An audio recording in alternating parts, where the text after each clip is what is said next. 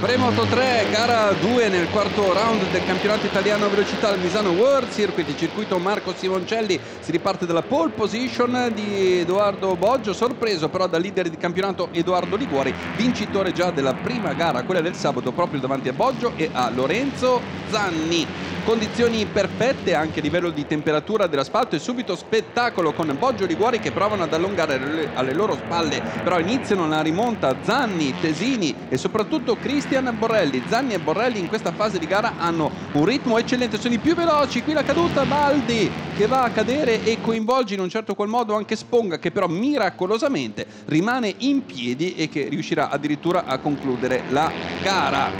Tentativo di fuga che fallisce perché Boggio e Liguori vengono raggiunti da Zanni, arriva anche Cristian Borrelli, mentre non riescono completamente a rientrare Gabriel Tesini e poi Francesco Venturini. Zanni qui alla quercia all'interno, trova spazio, va all'attacco, prende la prima posizione, ma in realtà nessuno dei piloti di testa riesce a fare la differenza.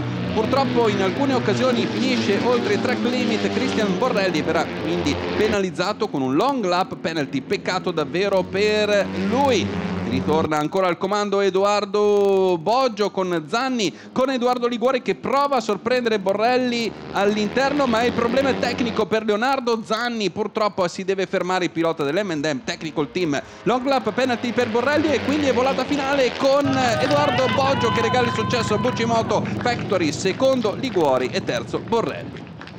Quarto round del campionato italiano velocità, seconda gara del weekend per la Super Bike nel round Cisa al Misano World Circuit. Si parte Pole position per Michele Pirro che ha anche vinto la Racing Night, ma la partenza del pluricampione italiano non è positiva. Finisce largo ed è in coda al gruppo attorno alla settima posizione. Allunga e ne approfitta subito Luca Bernardi. Aprilia, nuova 2M2 Racing, gran ritmo. Poi c'è Del Bianco, poi arriva Cavalieri, anche lui con l'altra Aprilia. E poi un fantastico Luca Vitali con Honda della scuderia Improv. Lorenzo Zanetti mantiene la posizione invece davanti a Michele Piro della partita e anche un ottimo Kevin Manfredi con la Suzuki Penta Motorsport. Continua la rimonta di Samuele Cavalieri, va a prendere la seconda posizione su Del Bianco. Arriva l'attacco, Michele Pirro passa Zanetti, risponde Zanetti all'interno e Pirro cerca di infilarsi nuovamente, scivola, riprenderà la gara, ma attenzione, il pilota Ducati Barney Spark Racing chiuderà solo in decima posizione. Gran sorpasso il curvone Vitali su Del Bianco, vince, vince Luca Bernardi, Aprilia nuova M2 Racing, Samuele Cavalieri non rispetta invece il long lap penalty per il viene penalizzato e finisce quindi secondo Vitali, terzo Zanetti e Cavalieri solo quinto, Pirro appunto decimo. Moto 3 al Misano World Circuit nel quarto round del campionato italiano velocità, round Cisa, si riparte ancora con Vicente Perez Selfa, pole position e vincitore della gara del sabato, ma prova subito a sorprenderlo Elia Bartolini e ci sono anche Guido Pini e Nicola Carraro che però scivola malamente in questo modo, non ci sono conseguenze per il pilota e forse neanche apparentemente per la moto, Nicola rientrerà in gara ma dopo due giri sarà costretto al ritiro. Perez Elfa allunga, Elia Bartolini in seconda posizione, Guido Pini è in terza, mentre l'ottimo Eric Michelon è in quarta. Gruppone folto degli inseguitori, in questo caso è Cesare Piezzi che finisce larghissimo di traiettoria. È una bella bagarre in questo caso con Lolli, con Abruzzo pronto a inseguire, c'è anche Amadori, ma sono tanti i piloti protagonisti che danno vita a una sfida veramente appassionante, davvero molto molto combattuta. In questo caso vediamo anche Jacopo Villani, Alessio Mattei,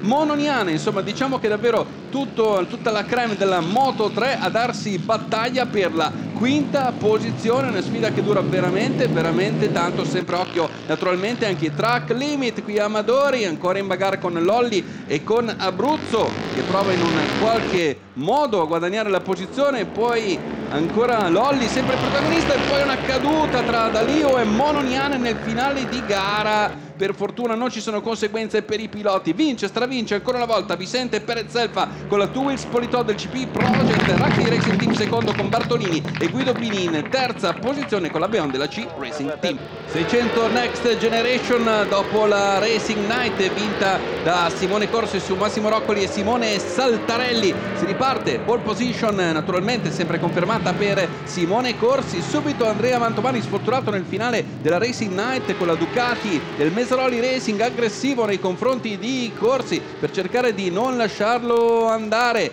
Bene anche lo scatto di Fulini, si vede anche Luca Ottaviani, Emanuele Busceddo, Massimo Roccoli. Questi sono i protagonisti, i piloti che vediamo subito nelle prime battute. L'allungo di Simone Corsi, ma Mantovani non molla, arriva l'attacco di Ottaviani per cercare di rimanere con il gruppo dei primi, i primi due fuggitivi in realtà gruppo che scorre sempre una situazione abbastanza complicata abbiamo Simone Saltarelli che purtroppo esce di scena colpo di scena abbastanza clamoroso per Simone Saltarelli che aveva festeggiato il podio soltanto poche ore prima appunto nella Racing Night della Next Generation. Rischia Ottaviani perde il posteriore ne approfitta Andrea Mantovani con la Ducati Mesaroli Racing per andare a riprendere la seconda posizione. Nel frattempo sono arrivati i ritiri per problemi tecnici anche per Bussolotti e Mer Mercandelli mazzate sul loro campionato, un campionato che invece spicca il volo per Simone Corsi che va a vincere doppietta a Misano con Mantovani secondo e Ottaviani in terza posizione con la Mevid Racing Service. Ultima gara per il quarto round del campionato italiano velocità al Misano World Circuit. E così come era aspettato l'onore dell'apertura aspetta quello della chiusura la Super Sport 300 che arriva dal successo di Ieraci in gara 1 quella del sabato e dalla sua pole position. Riparte bene Ieraci ma bene anche Cazzaniga bene anche Nunez Roldan bene anche Agazzi sono questi i primi piloti. Si fa vedere anche Chris Wright. Si preannuncia una gara molto molto intensa anche se Ieraci prova a forzare il ritmo nelle prime battute ma è grande bagarre e il leader della classifica generale con la Kawasaki del Prodina Racing non riesce ad allungare anzi subisce l'attacco in questo caso di Cazzaringa. Si fa vedere anche Bright, Nunez, Roldan. Davvero una bellissima gara. Anche Giacomo Zanini molto efficace nella prima parte cerca di guadagnare posizioni importanti. È un gruppo piuttosto folto è una lotta spalla contro spalla, carena contro carena ad ogni curva, in questo caso è Nunez Roldan a prendere il comando su Bruno Ieraci, ma davvero i cambiamenti di classifica sono eh, repentini, un metro dopo l'altro, ancora spettacolo al curvone con Ieraci che trova una via esterna per riprendere la prima posizione, stare davanti a Nunez Roldan, l'attacco di Emanuele Calzaniga che nella parte centrale della gara si nasconde un po' e poi ritorna all'attacco con la sua Yamaha Race Star, rimangono in 4 con Cazzaniga, Nunez Roldan, Ieraci e Chris Wright a giocarsi tutto nel finale di gara. Un finale davvero incredibile, emozionante. La spunta Emanuele Cazzaniga davanti a Nunez Roldan. Ieraci sarebbe terzo ma viene penalizzato di una posizione, diventa terzo Chris Wright.